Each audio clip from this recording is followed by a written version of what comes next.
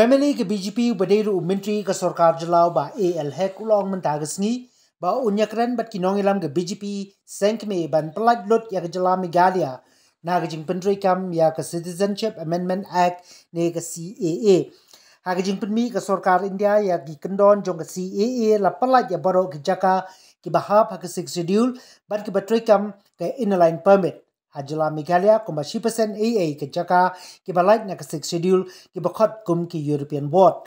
Apa keren mentara sengi ubah hek ulong bakum unong ilam ke parti ukwa ban pelat ya baro ka CEA apa Meghalaya pat hakiwe pat ki jela ka than lam mingi jong ke India.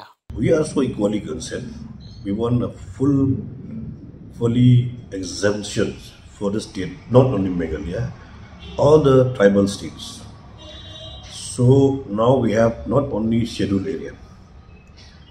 We have like the you know, Assam, we have the tribal uh, autonomous district also. Then we have in Nagaland.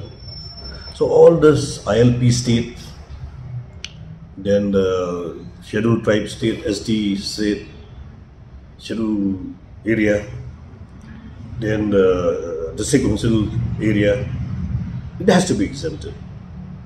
So will will you as a leader also communicate with the center, take it up? Oh, uh, this is the interest of the state. We have to take it up. We cannot just keep mum or silent in this issue.